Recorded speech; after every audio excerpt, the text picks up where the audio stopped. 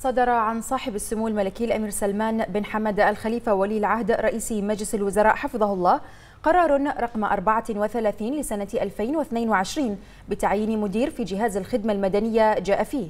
يعين السيد علي يوسف علي الحمادي مديرا لإدارة التوظيف في جهاز الخدمة المدنية.